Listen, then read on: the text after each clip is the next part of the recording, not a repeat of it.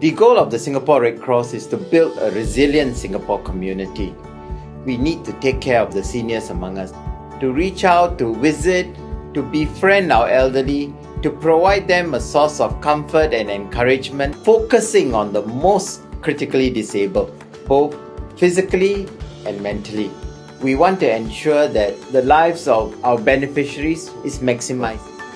Even in an affluent society like Singapore, we have people who have fallen between the cracks.